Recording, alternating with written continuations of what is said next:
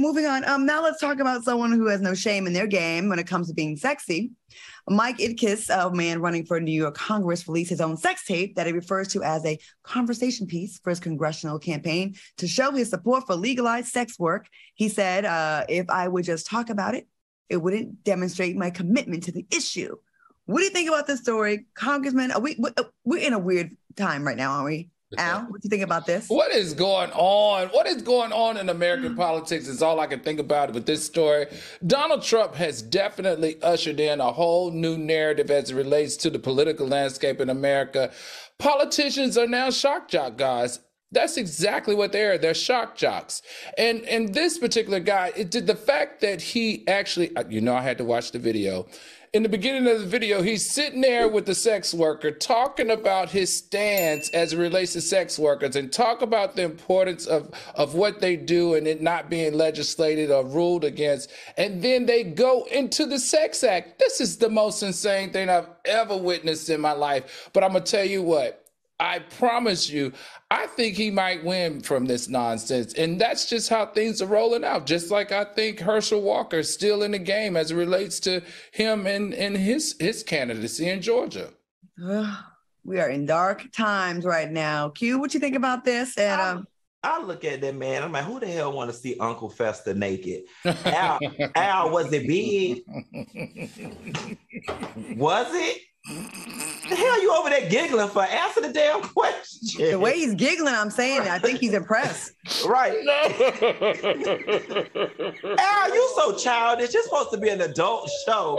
So listen, Claudia, while he over there getting himself together, I oh uh, you know the, the, the one thing that was going through my mind was you know how you have single issue voters and single issue like candidate like you running on a everything that's going on in the world COVID, monkeypox, inflated housing prices, you know, racism, da, da, da, da. This is your you you put all your campaign attention and donations into buying this sex worker and making this tape to me, this is someone that knows he's not going to win. That's like, you know what? I'm going to have fun. I raised a few thousand dollars. Let me just go ahead and use it on this commercial, just have a little fun. Because there's some people that are just doing some wild stuff in these campaigns. Politics, I will say this, has become quite entertaining, right?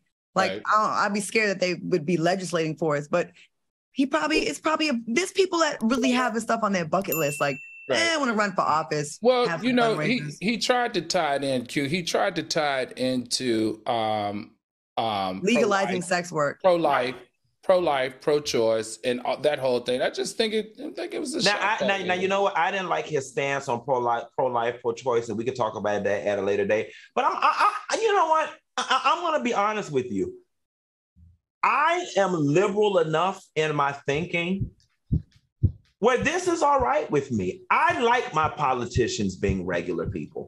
Like, I don't like this fake pulled up church lady act that they mm-hmm. all put on. I like to know that my politicians go home, drink brown liquor, and cuss.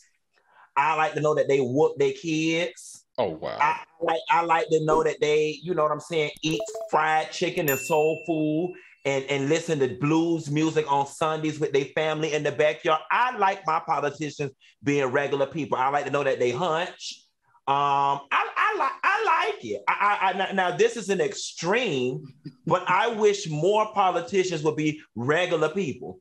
Like Nancy mm. Pelosi, we know you smoke the reefer.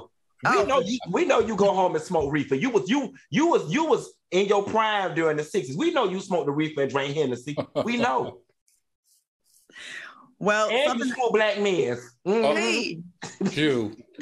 Q. Oh, your best behavior, please. That is a Italian American woman. That's oh, she, oh, she definitely like the black men and, and smoke the reefer.